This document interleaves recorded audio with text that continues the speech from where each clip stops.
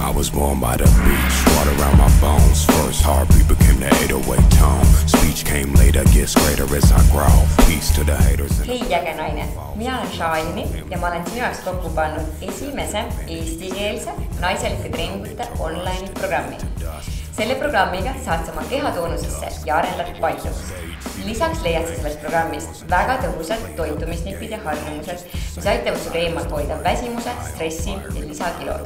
see programm muudab sind lihtsalt ägedamaks naiseks, kaaslaseks ja emaks enam sa ei pea muretsema, et sa ei jõua spordiklubisse trenni tegema, saad seda programmi teha ükskõik kus, täpselt endale sobival ajal. vajuta postituse oleval lingile ja registreeri ennast juba täna. kohtume Matil, sinu aeg iseendale.